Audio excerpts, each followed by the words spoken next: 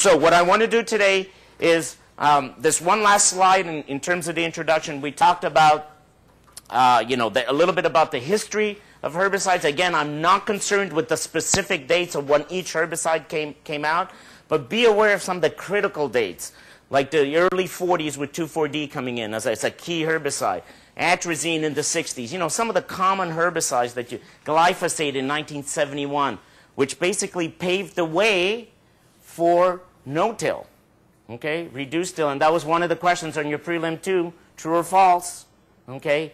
And, and the answer was false because I said atrazine paved the way for no-till. It wasn't atrazine, it was glyphosate. And we had talked about Roundup. If it wasn't for Roundup, there'd be no conservation or, or zero till as we, we know it today because you can't control perennial weeds without tillage. Okay? So what I want to do now is just for some of you, this, you're familiar with this, but just want to make sure everybody's on the same page. When you name a herbicide, and this is true of pesticides, so the group in IPM, the students in there, you, you will see this when I cover pesticides in class. If you've taken plant pathology, the same for fungicides. Okay? There are the common name of the um, typically you'll see the common name here of glyphosate. In this case, this is Roundup, okay? This will be the, the trade name, okay? So um, often this would be the equivalent kind of like our common name, you know, for the weeds. This will be velvet leaf. But, but, but this is what scientists will say, that is glyphosate, okay? You'll also hear the trade name. That's Roundup, Touchdown, Glyph Glyphomax. That is the name of that chemical that a particular company i.e. Monsanto Syngenta, BASF, DuPont, will use for that product, okay? Often that is the term that growers will use, okay? They won't, typically won't say glyphosate. They say, oh, I put down some Roundup or Banvel or Clarity, okay? Uh, or Fusilade. But, okay, the trade name, and again, they vary. The same chemical, that's the same chemical can have, 2,4-D can have, I think, has hundreds of trade names. Okay? So uh, really the key is, and, and, and they change depending on the country you're in. So when I was in Canada, you know, some of these names, I didn't know what they were. But as soon as somebody told me, I would ask them, what's the active ingredient? What's the common name of this, of this herbicide? They'd say, oh, glyphosate, or they'd say, you know, nicosulfuron. Boom. I knew right away what they were talking about. Okay? It's like the Latin name. No matter what part of the world you're in, people would, will know what you're talking about. But use a, a common name. So don't be confused. Common name here is almost the equivalent of, of the scientific name. Okay, it's the, it's the one thing we, we, we share. The chemical name, so just so you know, common names, trade names, those are, you know, in terms of for, for test purposes, those are going to be the two, okay, that I will be accepting. I'll accept either one in this case. Glyphosate, if you just know the trade name, in this case, it's not going to be like, like the weed, weed ID where you get half the point if you know the common name because there's, this is not the easiest thing to do. So if you know something as Roundup, I'll accept that or glyphosate in any exam. And that's true for your practical exam. So if you look at a flat and you say, to me, that's, you know, that's Roundup, okay, you, I will accept it for the practical exam. But I would like for you to know both. At least one, one trade name. You don't have to know all 25. Just pick one that you're familiar with. So if Roundup's the one, do it. Um, chemical name, I won't ask you for the chemical name, but I just want you to be aware of okay, what it is and what are some of the components. So clearly there's a nitrogen, there's a phos phosphorus in there, methyl, CH3, okay, and glycine. So uh, very often, um, you know, chemical names are important for you to be aware of, oh, okay, what are the components? And then often you'll have the empirical formula. This is, this is all basic organic chemistry, okay? All these synthesized herbicides are organics. Okay? Prior to the 1940s and 2,4-D, we had a lot of inorganics. Okay? Without a, and here, that's a good point. I, I think Wayne Wilcox made that in IPM, and I know it confused some people. When we say an organic compound, don't confuse it with this compound can be used in organic cropping systems. That's not what we mean. When we're referring to an organic compound here, it's, it's got a carbon backbone. Okay, it has none. In fact, you will not use this in an organic system. So it's, it's too bad the two terms are used synonym, you know, people say organic and they, they mean, okay, that they're referring here, we're referring to carbon. And then often you have the structural formula, okay? So just be aware when I'm saying what's the trade name, you know, give me the chemical name, okay, that you're aware of this. And you could do this for all, all the herbicides, okay?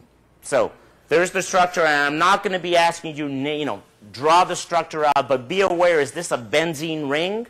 Is it a six-carbon ring? Is it, uh, so is it aromatic, i.e., okay, does it have a ring structure, or is it aliphatic, which branched, okay? So one thing you, you might notice about glyphosate, it's, it's, it's kind of in the amino acid. It's an amino acid, okay, derivative, okay?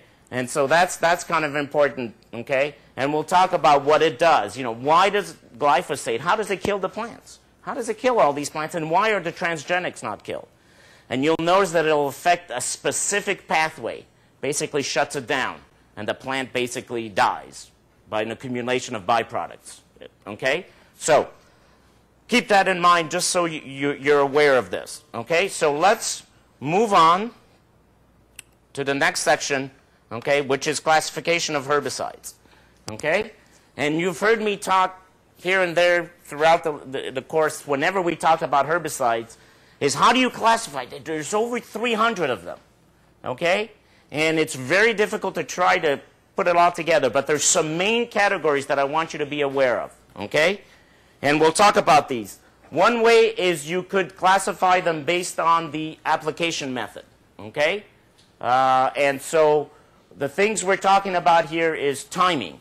Is this herbicide applied before the crop is planted, after the crop is planted? Okay? Um, and so that's what application method is going to refer to, okay? Um, some of you have heard the term broadcast, okay? Broadcast or banded. That's a spatial classification of a herbicide. How do you apply the herbicide? Okay, do you, do you, do you broadcast it? Do you spray it all over?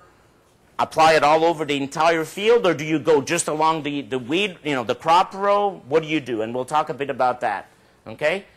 Then we, we refer to uh, herbicides by their activity. You can classify herbicides as to whether they're contact herbicides, systemic herbicides, whether they have residual activity. Okay, and I'll go through each of these. Just throwing them out now, just so you're aware of them. And sometimes classification by crop use. Oh, this is a corn herbicide. This is a soybean herbicide. I don't like that particularly, okay? But I just want you to be aware of. Some folks will say, yeah, that's a, you know, that's for corn. That's a corn herbicide. Everybody knows that, or at least that, that, that use it. Um, by mode of action, now we're getting to nitty gritty. This is, this is now where you basically get into the physiology. And, and just so you know, this is where you basically separate out kind of the science from the technology. Okay? You'll have a lot of folks that know a lot of this. They know the labeled rates of a product to spray and, and what it controls and so forth. But as soon as you dig a little deeper and ask, how does the herbicide work? What does it do? Where does it stop? And how that might be influenced by environment. This is where you, you typically see the difference between students that are in a science degree versus a technology degree. Okay, nothing against the technology degrees, but this is the, the, the core of the science now. Okay, uh, and it's still very important because it gives you background into maybe why a certain herbicide failed, why you should be careful about rotating modes of action. Okay, so basically here we're referring to how does the herbicide kill the plant? What specifically does it do? That's referred to as the mode mechanism of action. We'll see that today. Okay? In lab, we're going to cover that. We're going to start looking at, oh, wow, look at that. This thing affects cell division. Look at those roots. You're going to see some of these herbicides, the roots, something called pendimethalin or pr prowl, will just basically disrupt cell division, mitosis. And so, you know, as the cells divide, okay, um, you, you don't get the same number of, you know, chromosomes. It's just a real mess in there, and you see the roots become clubby and stubby it's just no secondary root growth, and those are going to be key characteristics that will help you. Okay? And that's important too if you're trying to figure out what herbicide might have, by accident, affected your crop. Okay? And uh, I don't know if there's, who's in here? Anybody here in the AgSci seminar? Do you guys remember Sarah Ulick's slide where she, this is an, un, an undergraduate in the AgSci major. She was presenting her internship um, they do a, a, you know an internship program in the in the major, and uh, she worked with uh, Professor Reiners up at uh, Geneva. He's a vegetable crop production person, and she was in a field. They were looking at I think uh, cabbage, they were doing, and they noticed that then they basically had to look at a situation where a, a grower, I don't know where in western New York this happened, had sprayed, I think, corn with, I don't know what herbicide, but basically they were there to look at the damage on cabbage. Basically, the, the herbicide had drifted over, and it obviously was not registered for cabbage, and the cabbage was just devastated all along the, you know, the field. And so one of the things that some of you might be involved in is trying to figure out, well, I wonder what, even without knowing and seeing that you could pretty well take a look at the damage, but just understanding what's the symptomology. Ooh, you may, know this, may not know the specific herbicide, but you probably know the family or the mode of action. Oh, this is a cell division type thing. Oh, this is a cell membrane disruptor. Look how fast these, the, the weeds got wiped out or the crop by mistake. Okay? So we'll look at that. Um, we'll, you know, we'll, these are all subjects we'll cover. How fast is it translocated? Some, some herbicides don't go very far. You apply them, wherever it hits the green tissue, that's where it'll do its damage. It basically burns the plant. Paraquat is a good example. Okay, and we'll talk more about that. Okay, and and chemistry and, and molecules. So let's let's hit each of these. Okay, so this is looks like, a busy slide. All you have to know here is a kind of couple of things. This is in relation to, okay, when what timing, when is a herbicide applied, a particular herbicide? Okay, is it pre-plant and, what, and, and just basically look at with respect to the crop. This is often what we're looking at. When we say a herbicide is pre-emergent, we are referring to it in terms of emergent to what? The weeds or the crop? Usually it's the crop. Okay? When we say this herbicide is applied pre-emergence, it's to the crop, but also, very often it's also pre-emergent to the weeds, but not always the case. Okay? So, we, these are the various, okay, ways that herbicides can be applied. When we say a herbicide, that's a pre-plant application. As the term suggests, you apply this herbicide before you plant, before anything gets done. Okay? This is, for those of you who are, you know, more on the practical side of things, this is, pre-plant is a burn down. When we say, oh, we're going to do a burn down. So, say in the fall now, you're going out and you notice in your field you, you may plow, you may not plow, but you notice, or in the early spring, that you have a lot of perennial weeds in there. You've got a lot of dandelion that are still there. They're not killed. I mean, they're sitting there. Before you cultivate primary tillage, remember moldboard plow or chisel plow, you might want to spray a herbicide. And this, of course, is if you're a, non-organic or a conventional grower. You might spray pre-plant a herbicide, okay? So basically here, there's, you know, they're not showing pre-emergence to weeds, but it's it can be post-emergence through weeds as well. Okay? So I'm saying in the situation where we do a burn down, it's because we've got the weeds there. Okay? So this would be the scenario. It's with respect to the crop, before the crop is planted, these are weeds, I guess the way they see it. Okay? Uh, and in this case, some of the weeds, this could be annuals or mostly perennials. You wipe them out and then you carry out your tillage. Okay? Now, when we talk about a herbicide that's applied pre-emergence, okay, the white circles here indicate the crop, the crop seed. So let's say you, you've planted your corn. And obviously you've got the black here are the weeds. The weeds are in there. They're, they're going to be in your seed bank. Okay? What we're saying is when we apply a herbicide pre-emergence, the, the crop has not emerged yet. Okay? Some weeds might have, Okay, you notice here it's post-emergent the weeds, but you notice that the crop has still not, I mean, it might have germinated, but it's not, has not emerged yet.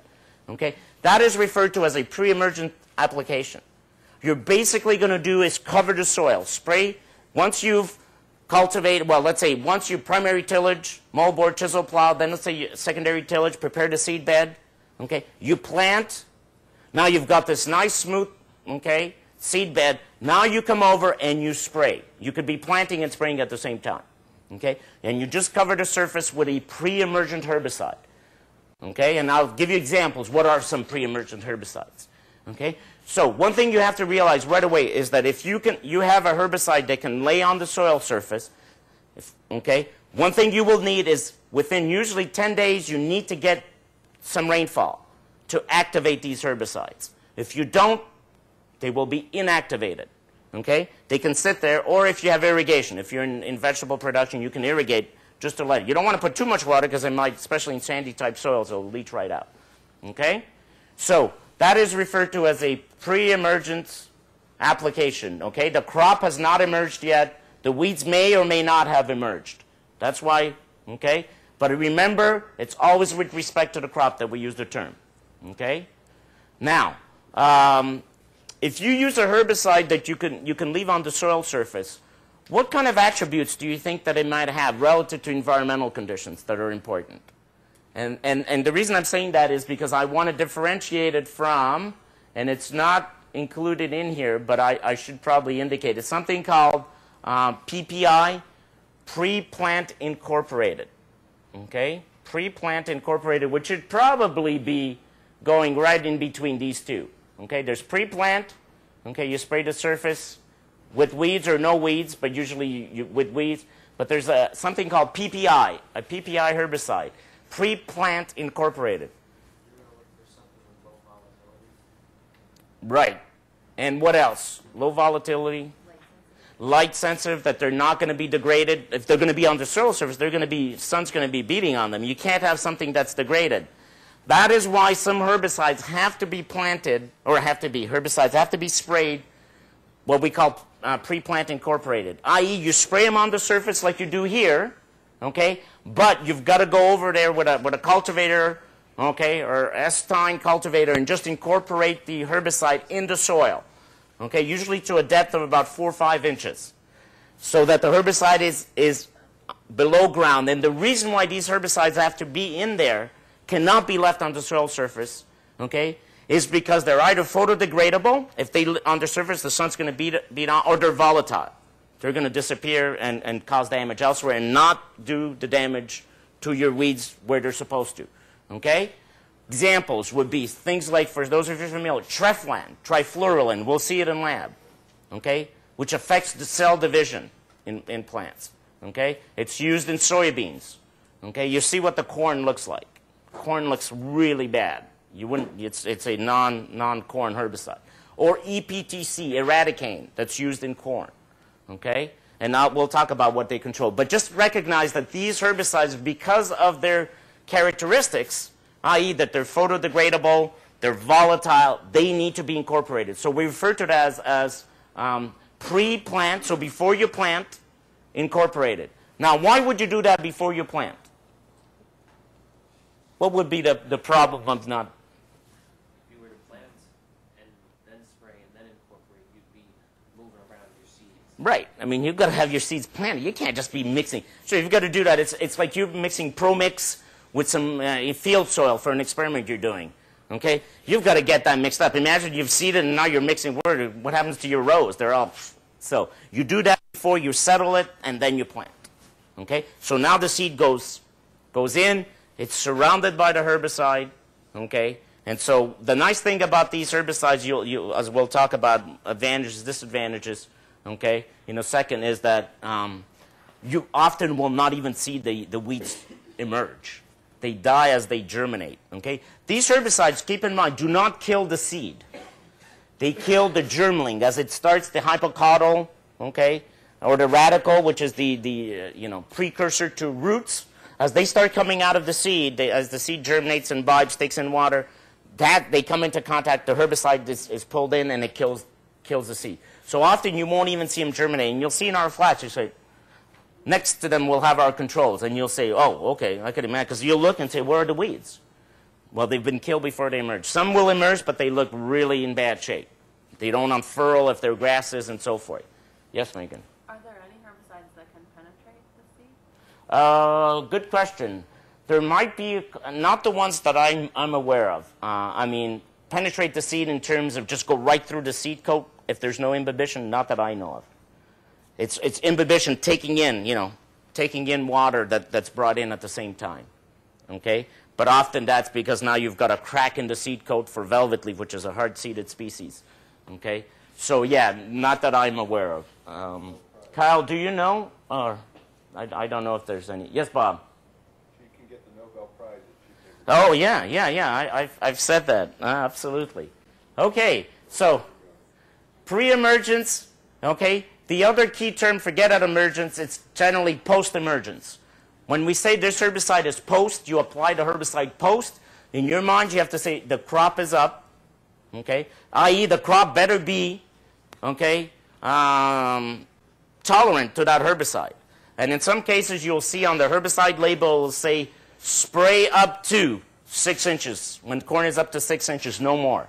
Or not before six inches. Usually it's, it's you know, two weeks or four weeks of growth or, or the fifth, the V5 stage of corn, which is a stage of corn. Or for velvet leaf, uh, for, vel- for uh, soybean, they'll say the third trifoliate leaf. You guys all know, you know, you get first two, you know, the, the cotyledons of soybean, then you got these uh, single leaves, and then you start getting the palmate, the trifoliate leaves.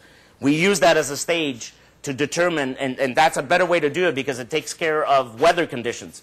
If it's a cool, you know, spring, things aren't growing as fast. You're not going to say, well, I'm going to spray it two weeks no matter what the weather was. It doesn't work that way. You look at crop growth, okay, and weeds, okay? So something that's applied post-emergence then, uh, you will have the crop is up, the weeds may, may not be up, but very often they are.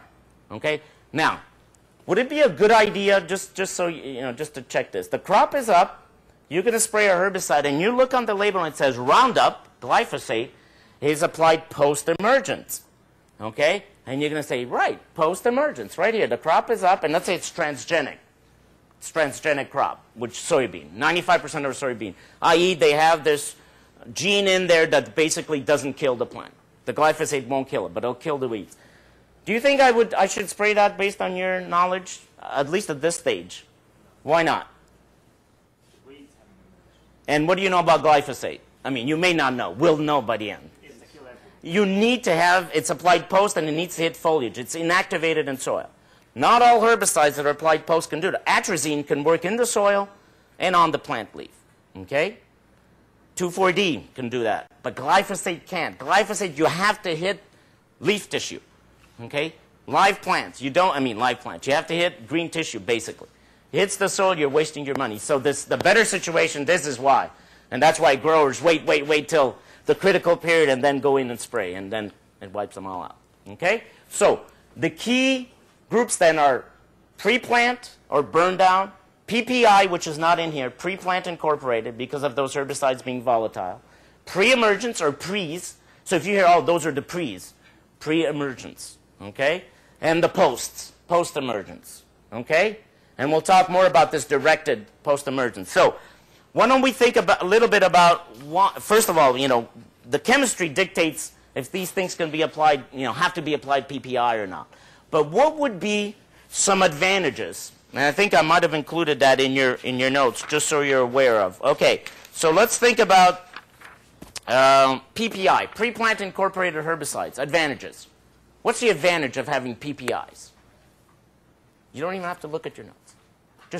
Okay, you'd say, well, the, the, the disadvantage is that you have to, well, the advantage. What, what's the advantage? They're not going to run off because they're in the soil. They're in the soil. They're not going to be degraded. I mean, you wouldn't want it. You know, you have to. This is the. You can't leave them. You, you're going to waste your time. So I think that's what you know.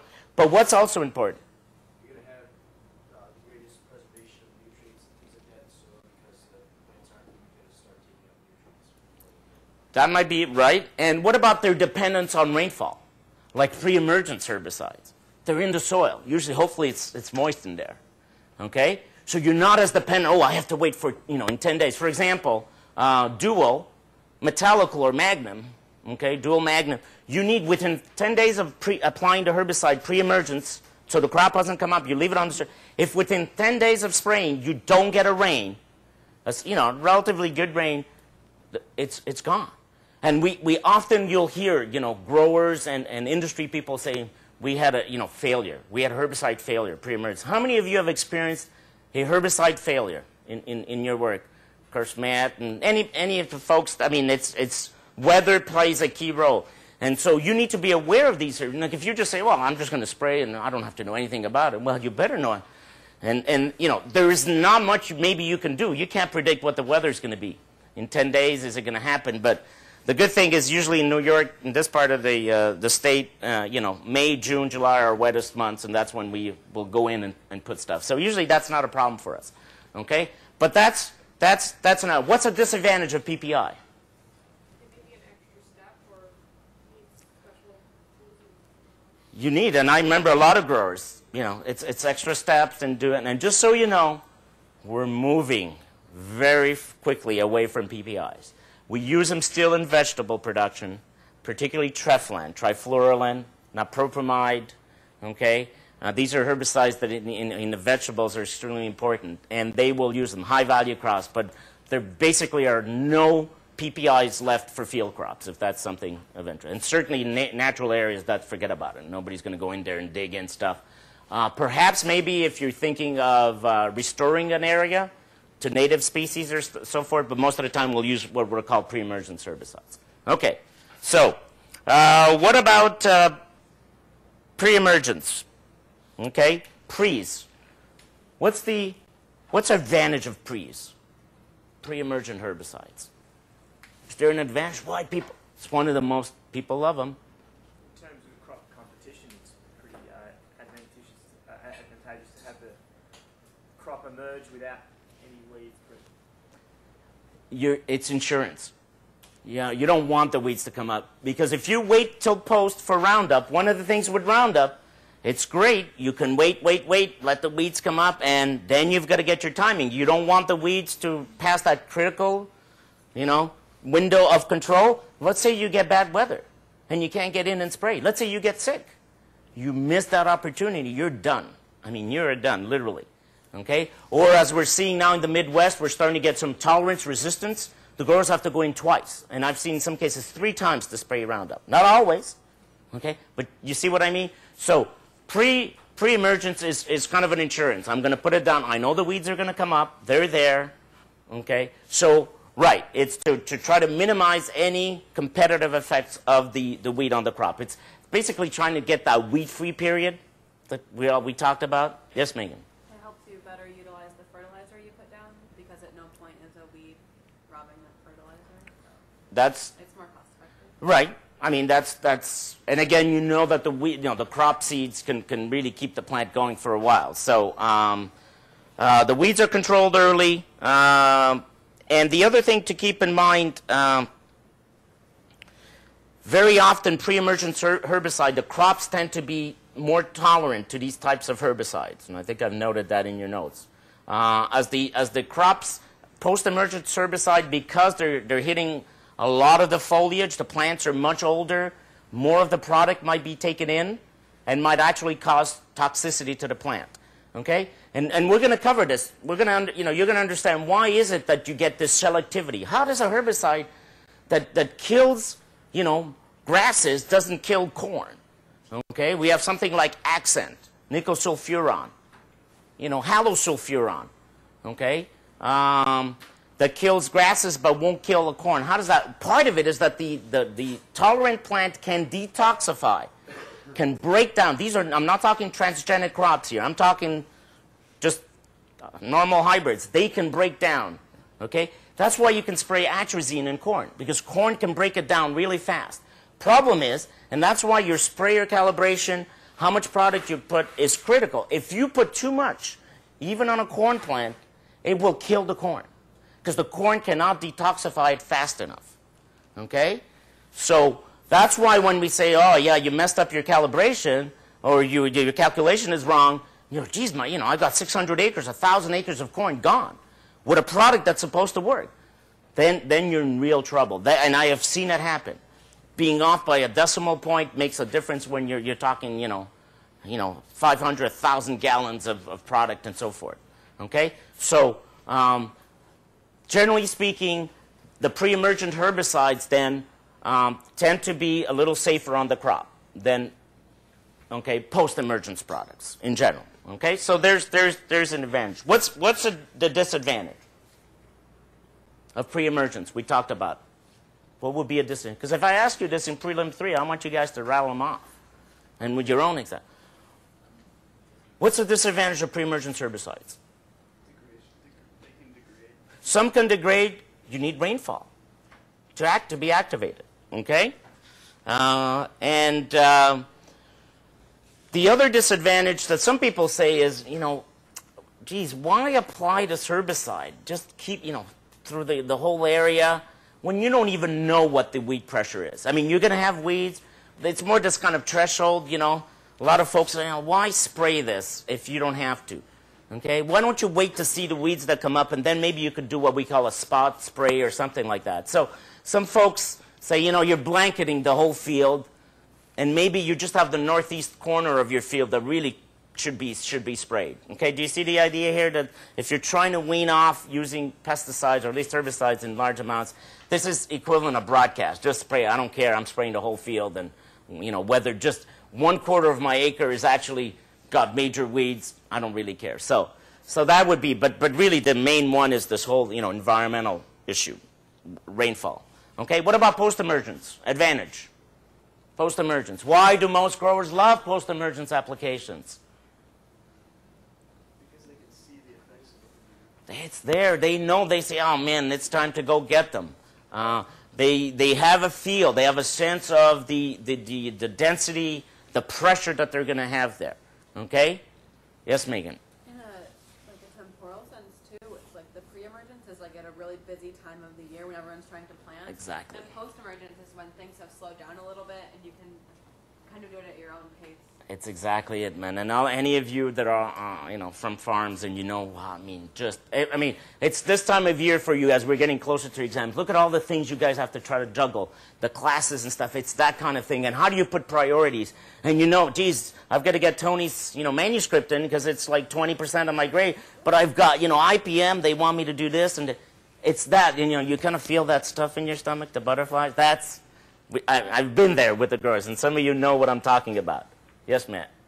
So you're saying it's no pre-emergence or, or that's what you're saying post? Because I know a lot of farmers go to pre-emergence because they're so, they, they got so much going on later in the season that they hit, they put the sprayers right on their, planters, one pass through and they never come back to that field again, no harvest. There is there is that for, for some of our growers. So so I I've seen both situations. That's why I was going to make a comment to the to the fact that having said that that um, you know that time uh, later on might be more advantageous. There are situations with some of the growers that in fact because they can do it in one pass, you know, plant and spray right at the back. So they plant, okay, level, and then they just they go just like fertilizing at the same time that um, if they're going to do it, that's also an advantage. Because a little later on, part of the problem might be it depends. So just to give you an idea, you know, when would you spray? Who's here is, is, is sprayed in Roundup Ready soybeans? Say, does anybody know glyphosate? So you're talking spring. You're probably talking, Joe. Are you going to be in, you know, mid third week of June? You know, I mean, if depending on if you know your beans usually go go in, uh, you know, third week of May, last week of May if you're pushing it. I mean, you can go into June, but but then you kind of want to wait. What is the critical stage? Uh, you know, and and you'll you'll you know weeds could be at you know four leaf stage, five leaf stage. Uh, although you know it's busy at the beginning, that's still a busy time as well. So, I guess what I'm trying to get at is that either way, you just some growers, depending on what they have, if they have dairy or if they're doing many other things, it might not be if you can do it in one pass early on, a pre-emergence. It might actually there turn out to be okay. Might be the better way to go. But I have seen other growers that will wait. They they're too busy early on, uh, and and they're gonna you know they're just gonna go that one time and spray Roundup, and that's it. So the residual activity of the pre-emergence will generally last the entire growing season? Correct. And we'll talk about. So the residual activity is how active does the herbicide remain? Most growers would love to have it for the entire season. That's why products like atrazine and Dual, Metolachlor, Prowl last the growing season. You run into problems when you have carryover into the next year of things like atrazine. If the weather's cool and dry, you might have problems. So if you that's a corn herbicide, atrazine. If you rotate next year, you're going to soybeans, it could wipe out if the conditions are. And I've seen situations where the grower I didn't do a quick bioassay, you know, just testing out. And there's some kits out there that can can really help you to do that very quickly. You could run into problems. Okay, so yes, we want the residual activity. Okay, you don't get residual activity with Roundup, of course, because Roundup has no residual activity. So you better hit those weeds. You miss them, you're done. What, what do you do if you do have the residual? Like, do you just have to plant corn again the next year, or is there something you can do Oh. to? It, it depends on on the levels. Uh, I have seen situations where basically the grower could not grow soybean the, the next year. There was just the levels were too high. There was there was a lot of uh, and depends on how much they're applying. Remember, one thing you'll notice is that when you look at a label, it gives you a range of active ingredient to use. You know, you can use between 2.2 grams to 6.2 grams. A lot of growers, depending, if they know there's a heavy infestation, they'll put the high end. Depending on their soils, characteristics, the weather, they might have carryover. In some cases, they've had to plant non-susceptible species. It doesn't happen often. I should just mention that because growers are pretty familiar with their soils and say, oh yeah, this is about the amount of atrazine I can put on this. Okay? So it's a double-edged sword. It's great to have the control throughout the season. I don't have to keep going back. But it's also, you have to be careful. You don't want it to be too long. So you want what's called short-term residual activity. Short-term means growing season. Long-term, no. Okay? Uh, in, in this kind of cropping. Can you think of a situation where a long-term residual activity would actually be okay? Sorry? Continuous corn. What else? Don't think cropping systems. I'm thinking big. You know, it's not just ag. Think of the, what others, can you think of uh, Landscaping industrial sites, you know, along power lines. The guys want to, you know, they go in there and they want to put, you know, products that they don't have to go, you know. Ever tried to go in? The, uh, often I've seen these guys also spray with helicopters. You ever see that in the in, in the Adirondacks? I've seen that along power lines. Okay, and they'll put a product that's got some like Tordon or something like that that's got long-term control. But these are non-crop areas. Okay, uh, but you can get two, three years good control. But certainly you wouldn't want that in, in, in cropping systems. Okay, uh, let's see. What else do we have here? Um, one thing that we talked about with uh, post-emergence, um, the nice thing about that I should say about post-emergence applications, of course, is especially if these they need to be taken up by the plant, is you don't have to worry too much about soil affecting, you know, whether you have a lot of organic matter and it absorbs the herbicide or not, because that's important. Okay, muck soils, is very different than if you've got these mineral soils with uh, 3% organic matter versus 50%. Because they'll pull in things like paraquat will just be absorbed to soil, never, you know, you'll never see it. Uh, or even some like, something like atrazine. Okay? Uh, one of the problems we run into no-till systems is because we fertilize and we can't cultivate and cultivate the, the, uh, um, the fertilizer into the soil, we get a, a, a high or low pH soil strata, you know, just, just a layer that's got a very high or very low pH, very acidic. That is terrible when you're applying atrazine. Okay, it's basically atrazine is degraded and it doesn't work. Okay, so you've got to be aware of you know all these kinds of combinations, uh, what might happen. But again, if you're applying post and it's really a leaf type, foliar type herbicide, you don't have to worry about about that. Disadvantages of post is again, if you get sick, if you can't get into the field, you could miss that window of opportunity. The weeds are up, they're competing. Okay, early on, it's they're still the crop can tolerate it, but then as you all know that critical period of weed control, if you miss it, it's gone. Okay, so that's that's kind of you know part of the problem. The advantage, of course, now is that um, you know with transgenic crops, you know you they, they, they're tolerant. And remember, transgenic crops, they're really tolerant. Even transgenic crops, if you apply too much Roundup or, or, or Liberty, if you're using glyphosate, you will kill the crop. Okay? And I've seen it. Oh, I've got a transgenic. I've got a Roundup Ready resistant. They sprayed 2X, they killed the plant. Just because they really wanted to hammer the weeds. Okay? So, so this is, okay, in terms of um, spatially, or, or timing, I should say, of application. So, be familiar if somebody says, and, and, you'll see in lab, I'll say, well, this was, and Kathy will have written on the label, she applied this pre-emergence. She applied this PPI. She applied this herbicide post. Just kind of in your own minds, know that. And, and in, the, uh, in the jargon of uh, industry and so forth, you'll hear things like, that's a pre, that's a post. And I remember the first time, what are they talking about? And then you kind of, oh, okay, that's, that's what it means. Okay? This is just you don't have to, you know, remember all that, but this is just a good some examples of, you know, practically when are these used? Pre-plant, okay, um, early pre-plant application of atrazine in corn to control annual weeds, okay. So the one I'm most used to is the pre-plant. You apply 2,4-D or Roundup in no-till to control perennial weeds. That's why I was saying it. You know, you don't you want to be able to even before you you cultivate. Pre-plant incorporated, Treflan in soybeans to control annual weeds. So this is not, and you'll see it. I think one of our treatments is going to be a PPI Treflan or, or pendimethalin, which is a closely related species. So you see all the combinations, pre-emergence to the crop, pre-emergence to the weed, acetochlor, this is similar to metolachlor or Dual in corn to control annual grass weeds. Uh, post-emergence, okay, paraquat or glyphosate after planting in no-till, but before corn emergence to control existing weeds. This was assuming that you didn't have transgenic crops. Now you do it. The corn can be up, and you could spray it, and the soybeans could be up, okay? But you cannot spray paraquat. Paraquat is a non-selective herbicide that burns anything green, kills them. Okay, but it's a contact herbicide. It does, it's not translocated in the plant. So, and you'll notice damage within a few hours. And so in the lab, you will see what that looks like. I mean, it's just, and on the practical exam, we'll tell you, we sprayed this two days ago. And you'll know by the rate of kill and by looking at the symptomology, uh, the only one that can do this is paraquat, to act this fast. Glyphosate takes two weeks, a week or two. I mean, the plant's dead, okay?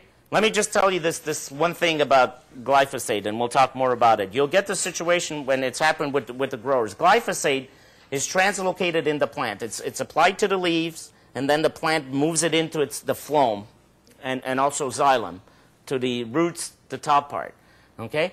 But one thing about glyphosate is, is it cannot kill the plant too fast. Okay? It can't be as fast acting as paraquat. Why?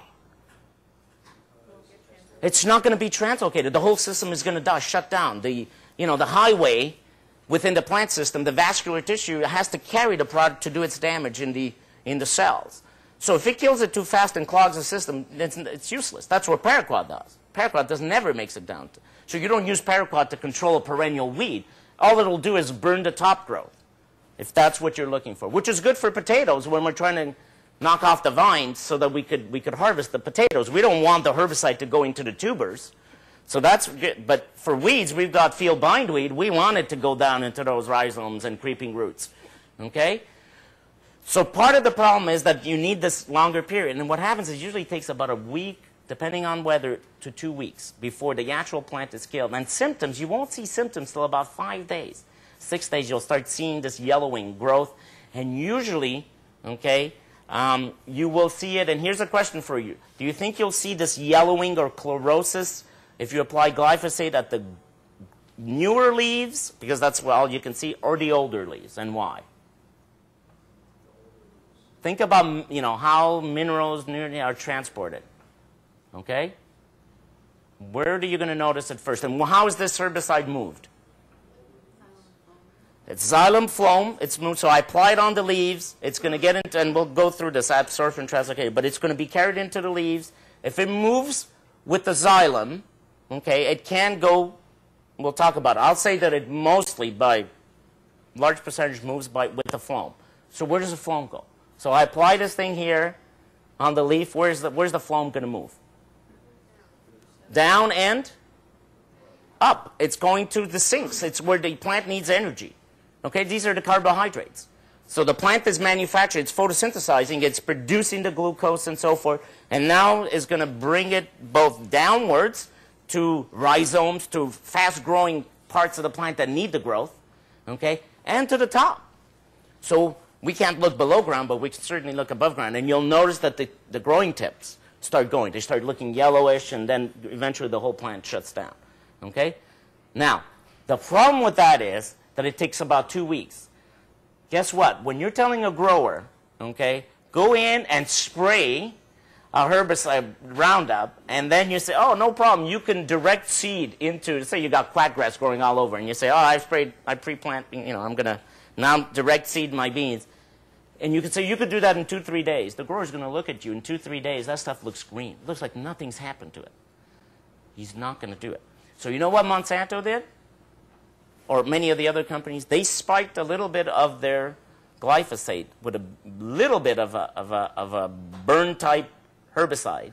Okay? Things like paraquat or, or even one of the what's called the diphenyl ethers, just to give the idea to the growers that hey, this thing has been sprayed. It's it's it's it's that. For all practical purposes, once glyphosate is sprayed, the plant is no longer growing and competing. So, but visually, aesthetically, the grower doesn't believe it because they're looking and that stuff's still green and they're thinking this thing is taken away. Just to give you an idea why. So there's an advantage that it's systemic, but also okay. But recognize that, that, that growth basically has come to a halt. This thing is not going anywhere. But how do you convince a grower? And so by allowing that, that little you know, zip that you see, oh yeah, it's, it's gotten killed. I can go in and put my beans now in that quackgrass patch. The grower will do it. Who's experienced this? Matt, what's the experience with the grower? What do you, what do you have to do? Spray and they'll call you a few days later, all pissed off how the product didn't work, and they're gonna call the company, and then you're like, well, what'd you spray? And they're like, well, Roundup. It's still green. They're like, yeah, well, call me in a few more days. Yeah. I mean, that's, that's, that's, so understanding that, how, that's where, you know, not understanding, that's about, it's not so light, it's supposed to wipe it out, but understanding how it takes time and if the weather, you know, is not, you know, favorable, what might happen, okay? That's, that's the kind of stuff to, to keep in mind, okay? So, we've gone through this, okay? What all I'm doing here was, and, and you have this information, is providing, um, you know, what are some of these herbicides that are, that are being used. So I'm not going to be going over this since I've already done, and we'll, we'll cover most of these, these species. Okay, let's talk a bit about spatially, how herbicides are applied on, on, on a spatial basis. When, when we say a given herbicide, you've heard, you, you've heard me say the word, it's been broadcast. We broadcast a herbicide or a fertilizer or a pesticide. What we mean there is that we apply the herbicide over an entire area. Okay? So the grower is going to be broadcasting, you know, glyphosate or whatever. And it's going to be pre, post, it doesn't matter. But it, just imagine this is my field, the whole thing gets sprayed. Okay? As, as opposed to banding. Oh, we're going to ban, the herbicide is going to be banded, or the urea, we're going to be, you know, side dressing corn. We'll just put it in, in, in, in, a, in, a, in, in an area of maybe, you know, 15, 15 inch swath right over the corner. Because in between the rows, the corn is planted 30 inches, say, in between we could cultivate. Okay? But usually the weeds are a real problem in the in row because you can't get in there. And so very often to cut back on, on herbicide use and also to be more effective, we spray right along on the crop row to get those weeds there and then cultivate in between the rows. Do you all get that, the banding? Why? So it saves you money. You're not spraying the whole area. Now, assuming that the cost of cultivation is not any higher. But in terms of environmental considerations, this is a way to cut back on herbicide use and still get the, the, uh, the weed control that, that you're looking for. Okay? So, now, how is that, so, so how is that different from a directed spray? How is banding direct, you know, and direct spraying? How do they differ? Because they both, okay, they're both going to be over not the entire area. You're usually going to be spraying close to where the crop is. But what's the difference with a directed spray versus band spray?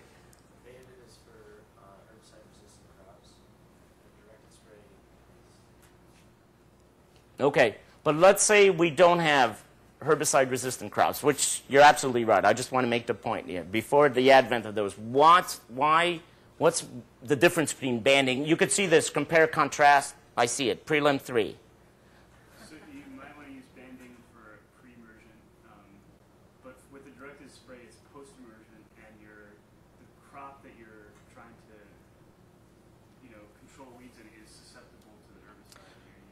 So what, what does the, the, a directed spray do? That's the question I have. What, what is it doing? Do I, okay, here's my crop, here's the row of the weeds, and I'm just going shh, right over everything? Or do I do something different? That's banding. Well, you, you have the nozzle lower below the uh, below the plant. Right on. This is, this is it. Drop nozzles.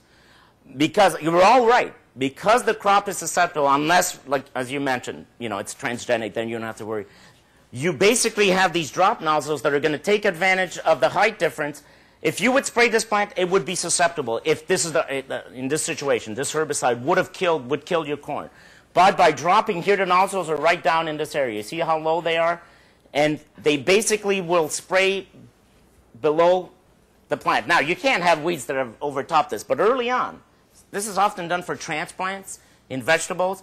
many of our vegetables are actually, you know, might be susceptible to a given herbicide. So, but we still want to control those emerging weeds. So what we do is we direct the spray to minimize contact with the plant, with the crop, which might be somewhat susceptible. We call it, oh, the herbicide might be hot on the crop.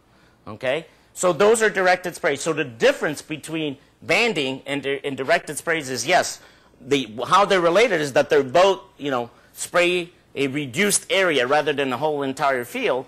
But in directed spray, in, in banding, both the crop and the weeds are sprayed. Okay? But in directed okay, sprays, we're basically trying to minimize the amount of product that goes on on the crop.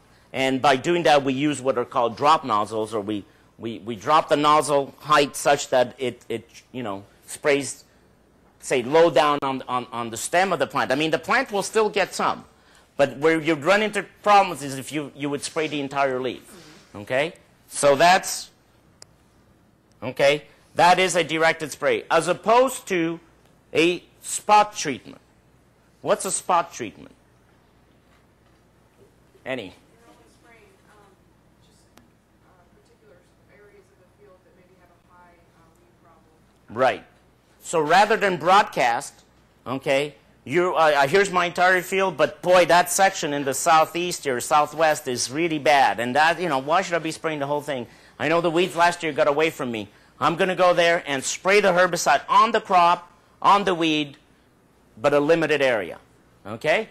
That's where GIS, GPS technology comes re- real handy. And if you're in the Great Plains and you've got 10,000 acres, uh, you might say, well, here it's not a problem. I've got, you know, even here, I mean, you know, I've got 500 acres. It's, you know, knowing where they are and, and, you know, and I've been working, you know, I did some work with some ag engineers where we were using reflectance, uh, what we call spectral signatures, how the kind of reflection that, that, that different weeds and, and plants that are nutrient starved, they, their reflective um, patterns are very different. And so you could do a flyover of a large field and find out what corner, where you've got, let's say, nutrient, you know, deprived corn. And there you could maybe just fertilize that area rather than fertilizing the whole, the whole area. Or if you want to manage weeds, do it just in that corner. In that case, we do a spot spray. We do that in our lawns. Why spray the whole lawn? And I usually go around.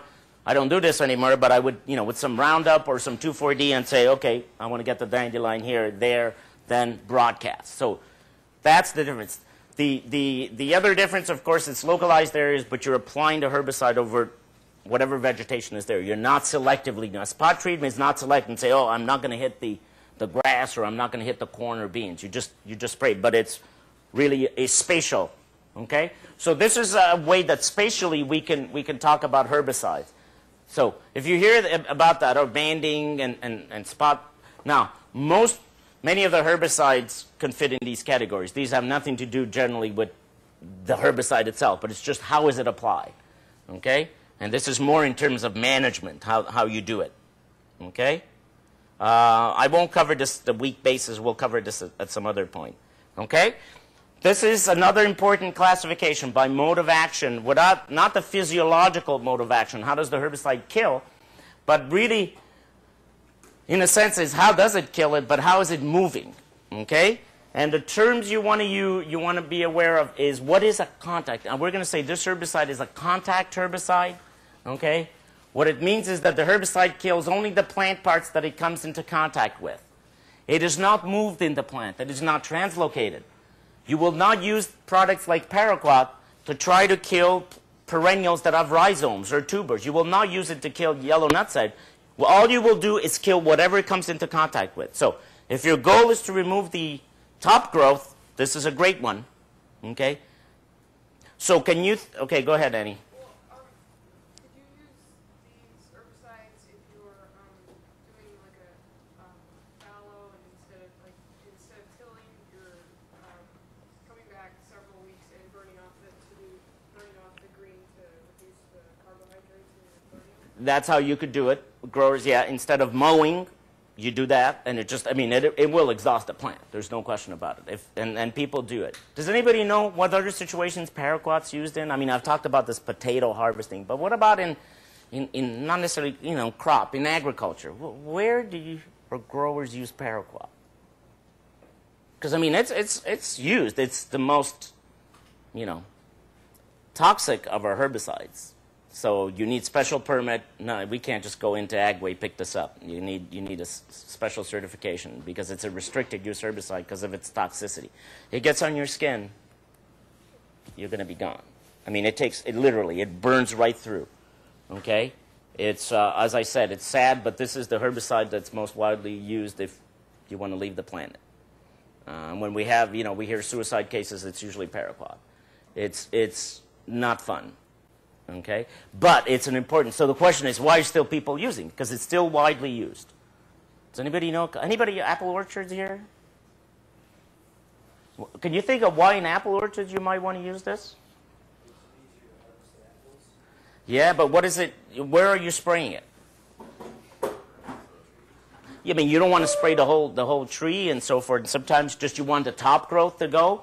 You don't want it to. You don't want a glyphosate that's systemic that might end up in the apple roots, apple tree roots, and be taken up and kill your your apple tree as well. You want something, as long as you could be you you spot spray and be careful, okay, about spraying because sometimes the the apple bark could also take in some of the herbicides. I mean, if there's a lot, but in this case, that's where I've seen it often. You know, to get rid of field bindweed or perennial weeds around around a crop, around an orchard, or so forth. That often you you know they'll go around and it just kills the top growth. Doesn't go on below ground, but you, you don't want that either because very often the roots are intermingled, and you don't. This product, okay, Roundup is not going to be an issue in the sense that um, it has no activity in terms of, uh, of once it hits the soil. So I'd be less worried about it. Uh, but there are some herbicides that you know are translocated in the soil and could really damage your um, your your apple trees or peach trees. Okay, so that is that is a contact type herbicide, and you'll see we'll talk about. There's some other ones too that move a little bit, but they really they the key thing they do is they burn. They basically lyse the cells and they dry, and you'll see in, in lab you'll you'll know right away. It's like whoa, five days, two days, and the effect is greatest when you apply it during sunny days. Just that's where it's, it's really effective. A systemic herbicide is one that's translocated from one plant, part of the plant. I apply it to the leaves, and you'll find it in the rhizomes, in the tubers, at the growing tips. So systemic, it moves, usually through the phloem. And it usually moves through something called the symplast, symplastic transport. And we'll go through that. If not today, we'll cover that on, on, on Thursday. These are two terms that you should be familiar. Symplastic transport, that's basically the phloem, the living part of the plant. That's where Roundup moves in. And that's why if these are living cells, okay, companion cells, tracheids, you'll, you'll remember some of the basic stuff. You can't kill these cells. You kill these cells, there's going to be no transport. There's going to be no effectiveness. Okay? Whereas apoplastic, that's how water and nutrients are moved, usually through the xylem. Okay? Non-living part of the plant. Okay? Uh, how does how do nutrients and water move in a plant? Very basic kind of soil science, plant phys. Because that'll tell you, if I tell you a herbicide is, is moved, moves through the xylem, you pretty well know where you're going to see some damage first. Okay, let's say it's soil applied. I have a herbicide, let's say I would say atrazine is, uh, is moved into xylem and we apply it to the soil. What's going to happen? How's it, how does it actually move? Are the growing tips going to die first? How, but it's moving in the xylem. It's going to it's going to move, let's say, through the root hairs. Where is it going to go? It goes everywhere, it's transpiration. Its transpiration stream is, is, uh, is the, the driver. That's how water's moved. Okay? So it's going to go up this, and it's going to go to the older leaves first, and make its way up, and of course go out through the leaf margins, and, you know, transpiration, right? So what happens? So the older leaves are going to be damaged first. The other thing, what happens if I spray atrazine and you can't spray it on the leaf? Okay? I've got a leaf. Here's my droplet. And, and I tell you this herbicide moves in the xylem. Okay? Here's the plant. This is a growing tip. Where's that? Where am I going to see the damage first? Let's say I just sprayed this dot. I just sprayed this leaf, not, not the rest. Where is it going to go? Is it going to go this way? Is it going to go that way? Where is it going? Sorry? Into the plant. think about what Bob said about the transpiration stream.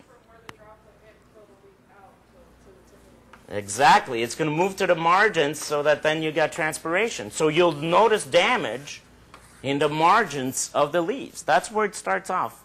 So atrazine is a good example of a photosynthetic inhibitor that can move through the xylem. You will notice something called interveinal chlorosis. The veins are going to be dark green, and in between you're going to get this chlorosis, this yellowing, and eventually necrosis, death of the plant. But if something's moved through the transpiration stream, it comes from the soil, then moves to the, the, you know, the older leaves first, and moves to the tips, to the edges, to the margins. As it waters, evaporates. Okay? So a little bit of basic plant phys will, will help you there. So think about that, apoplastics and. We'll go in more detail. I'll actually show you some structures. Okay? And that, uh, let me just tell you, just applying a herbicide and letting it sit there is not enough. That cuticle, as we talked about in lab, is a major barrier to the movement of herbicides. The plants don't just sit there and say, yeah, come on in. No way. Okay? You got this uh, phospholipid bilayer membrane that does not allow any of that kind of stuff, and it's going to fight it. So the question is, how do we get these things in? And lastly, soil applied you know, residual activity, if you hear this herbicide has residual activity, what it means is that it has um, prolonged activity in soil. Okay? It's not in the air, it's going to be in soil, whether it's, you know, the, through the growing season. So, you know, if somebody says this has real long residual activity, or that could be a problem, it means it's active in the soil for a long period of time, maybe more than one growing season. That might be good in certain situations, might be bad in others. You need to, you need to be aware of that. Okay?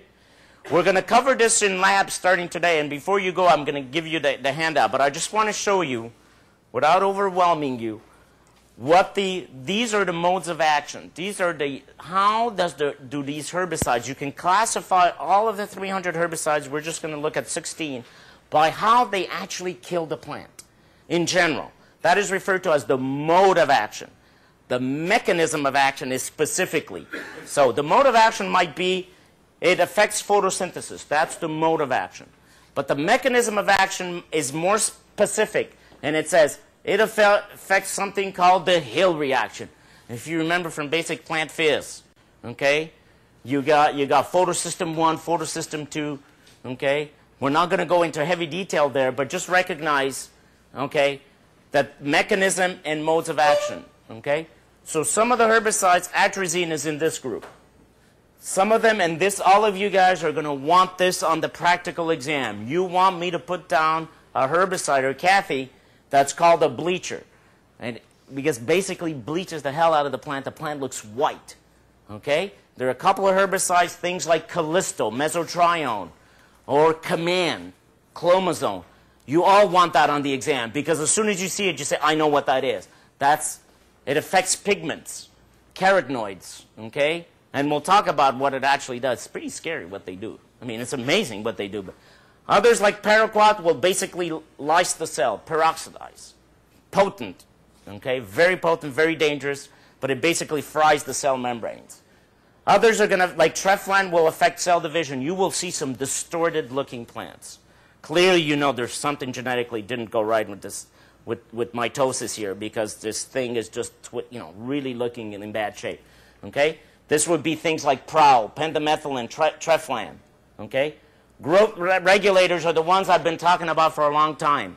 The auxin herbicides, 2,4-D, MCPA, the ones that epinastic that do all the bending, the broadleaf weeds. 2,4-D is in this group. Very important group. Okay? Uh, lipid biosynthesis inhibitors. Okay? You're going to want this referred to as the ACCase because that's the enzyme that gets disrupted by this herbicide. You will want this on the exam because it only affects the grasses. And when you go in and try to pull the grass, it breaks. It's all mushy and it breaks right at the soil surface. The roots stay in the ground, but the top is purple, mushy, wet. It's just like you go, what is this? It's like a fungus or something, you know, rotting. That's what this group. And it's because it basically doesn't allow lipids. Okay? What are the building blocks of lipids? What are the building blocks? Fatty acids. Okay? Fatty acids, lipids are important for membranes, so the membranes are leaky. Okay? So this stuff is going to, and then you get, this is, okay, glyphosate. Glyphosate will, will inhibit a major pathway for an important enzyme called EPSPS. This enzyme is important, okay, for the production of amino acids, which are essential. We have 20 essential amino acids that, that we need, and, and for some, we cannot get them from animals. We need plants, okay? And some of these we'll talk about, okay? For they're aromatic, i.e., they're going to have what? It's going to be a ring, a carbon ring, whereas ALS inhibitors, anything that ends sulfuron, sethoxydim, all the DIMs and FOPs as we call them, okay, will be branched amino acids. Okay? So this is just to tell you that what we're going to be getting into, and, and it's amazing. Those 16 herbicides, you will know exactly where they fit in. And, and, and then you'll match that with visually what you're seeing. Okay? And we're going to start that today. Reinforce it the week after. Okay? So it's going to be two weeks where we're basically doing the same thing, but just reinforcing, showing different plants, how they're affected. Okay? So I'll leave it at that.